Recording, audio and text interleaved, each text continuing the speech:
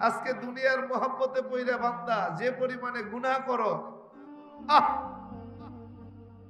দুনিয়া দুনিয়া দুনিয়া দুনিয়া, চিল্লাইতে চিল্লাইতে জিন্দগিটা বরবাদ কইরা ফলাইছো। আহা, আজকে তুই যেই দুনিয়ার পিছনে দৌড়াইতেছ, বলো, তুমি এই দুনিয়ায় কতদিন থাকবা? কতদিন? হ্যাঁ? পঞ্চাশ বছর, ষাট বছর, একশো বছর। কি? এরপরে যাওয়া লাগবে না?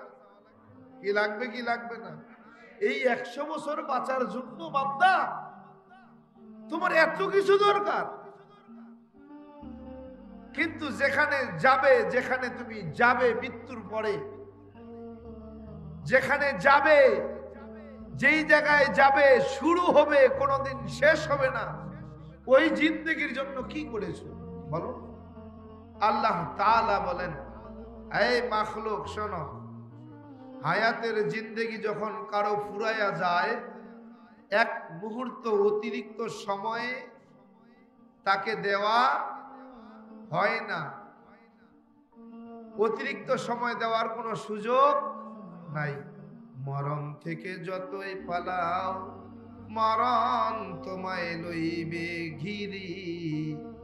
যদিও সুদূর আকাশ পানে লুকাও সেথা লাগিয়ে সিঁড়ি। নদী পথে নৌকা চালাও, ও মাঝি ভাই, বেলা ডুবার আগে আমি ওপার উঠতে চাই। ডুবে গেলে বেলারে আর সে তো ওঠে গেলে মেলারে আর সে তো জমে না।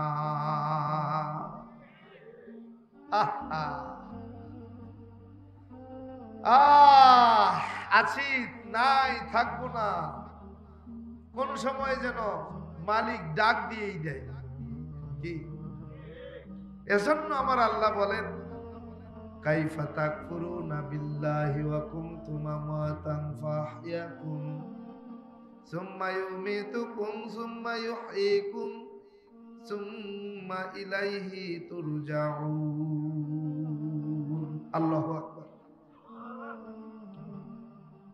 আল্লাহু বলে রে মানুষ, এক সময় তোমার কোনো অস্তিত্বই ছিল না।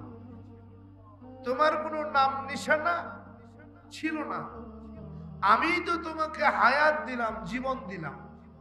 আমি তোমাকে জীবন দিলাম। আবার তুমি মরবে, তোমার মৃত্যু ঘটবে। কি? ঠিক কি না? সুম্মাই ইকুম মৃত্যুর পরে আবার তোমাকে জীবিত করা হবে। মৃত্যুর পরে আবার জীবিত করা হবে। কেন? বলে, সুম্মা ইলাইহি তুরজাউন, আমার দরবারে হাজিরা দেওয়ার জন্য। কার দরবারে হাজিরা? আল্লাহর দরবারে সন্দেহ আছে? হাজির হতে হবে? নাকি খাওয়া দাও ফুর্তি করো দুনিয়াটা? মস্ত বড়। এরকম? আহা! আজকে দুনিয়ার মোহাম্মতে পইরা বান্দা, যে পরিমাণে গুনাহ করো, আহ! দুনিয়া দুনিয়া দুনিয়া দুনিয়া, চিল্লাইতে চিল্লাইতে জিন্দগিটা বরবাদ কইরা ফলাইছে। এজন্যই আমার রসুল হাদিসে পাকের মধ্যে বলেন দুনিয়া রহসু কুল্লু আও কামা কলান নাবিয়্যু আলাইহি সালাতু এই দুনিয়ার মহব্বতই সমস্ত গুনাহের মূল। হ্যাঁ? যার ভিতরে দুনিয়ার যত বেশি মহব্বত, তার ভিতরে দুনিয়ায় তত বেশি গুনাহ। কথা কন না কেন? দুনিয়ার মোহাম্মতের কারণেই বান্দা গুনার সঙ্গে জড়াইয়া গেছে। কি, ঠিক কি না? বলে, হুজুর, দুনিয়ার মোহাম্মত আমার ভিতরে নাই, তবে সম্পদের লোভ আমার ভিতরে আছে। বলে, আমি এক কোটি টাকার মালিক। বলে, না না, এক কোটি টাকায় হয় না আর এক কোটি হলে ভালো হয়। একটা গার্মেন্টসের মালিক বলে, না না, আরেকটা গার্মেন্টসের মালিক হলে ভালো হয়। একটা বাড়ির মালিক কয়, না, আরেকটা বাড়ি হলে ভালো হয়। একটা গাড়ির মালিক বলে, না, আরেকটা গাড়ি হলে ভালো হয়। কথা বলেন না? কেন? বলে, দুনিয়াতে খালি চাই আর চাই চাই আর চাই, অভাব যেন দূর হয় না। এই অভাব দূর হয় না, এই ফিকিরের কারণেই তো বান্দা গুণা করে।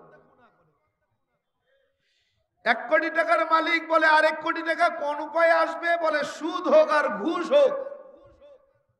শ্রমিকের মজুরি মেরে হোক, বেতন কেটে হোক, যে কোনো কায়দায় আমাকে আরেক কোটি টাকার মালিক হতে হবে। কি? একটা গার্মেন্টস আছে, আরেকটা গার্মেন্টস আমার লাগবে, যে কোনো উপায়ে আমার আরেকটা গার্মেন্টস এর মালিক হওয়া লাগবে। কি কথা কন না? একটা গাড়ি আছে বলে না, যে কোনো উপায়ে আমাকে আরেকটা গাড়ি কিনতে হবে। একটা বাড়ি আছে বলে না, যে কোনো উপায়ে আমাকে আরেকটা বাড়ির মালিক হতে হবে। কি? ঠিক কি না? আহা! আজকে তুই যে দুনিয়ার পিছনে দৌড়াইতেছ, বলো তুমি এই দুনিয়ায় কতদিন থাকবা? কতদিন? হ্যাঁ? পঞ্চাশ বছর, ষাট বছর, একশো বছর? কি? এরপরে যাওয়া লাগবে না? কি লাগবে কি লাগবে না? এই একশো বছর বাঁচার জন্য বান্দা, তোমার এত কিছু দরকার। কিন্তু যেখানে যাবে, যেখানে তুমি যাবে মৃত্যুর পরে, যেখানে যাবে, যেই জায়গায় যাবে, শুরু হবে, কোনোদিন শেষ হবে না। ওই জিন্দগির জন্য কি করেছ? বলো। ওই জিন্দগির খোঁজ আছে? ইমামে গজালি রহমতুল্লাহ আলাই ওনার লিখিত এক কিতাবের মধ্যে বয়ান করেন। বলে, দুনিয়াটা তো সামান্য, দুনিয়াটা সামান্য, এই দুনিয়ার জিন্দগি একদিন শেষ হয়ে যাবে। কিন্তু আখিরাতের জিন্দগি এমন জিন্দগি, যার শুরু হবে কোনোদিন শেষ হবে না। সুবহানাল্লাহ না? এভাবে গাজালি রহমতুল্লাহ আলাই বলে, বাজান এই দুনিয়া নামক পৃথিবীটাকে যদি তুমি গোডাউন বানাও, গোডাউন। আর এই গোডাউন যদি সরিষা দানা দিয়ে ভরে দাও। একটা কবুতরকে হুকুম করো, কবুতর আসবি, এই গোডাউন থেকে একটা দানা খাবি, চলে যাবি, আবার পাঁচশত বছরের পরে আসবি, একটা দানা খাবি, চলে যাবি। এইভাবে পাঁচশত বছর পর পরে সে এক দানা খাবা। এই গোডাউন, পৃথিবী নামক গোডাউনের সরিষা দানা একদিন না একদিন শেষ হয়ে যাবে। বলে আখেরাতের জিন্দগি এমন, যার শুরু হবে কোনোদিন শেষ হবে না। কি? এই জিন্দগির জন্য কি করছ বান্দা, একটু বলো তো। এই যে জিন্দগি যার শুরু হবে কোনোদিন শেষ হবে না, তার জন্য কি কামাই করেছ?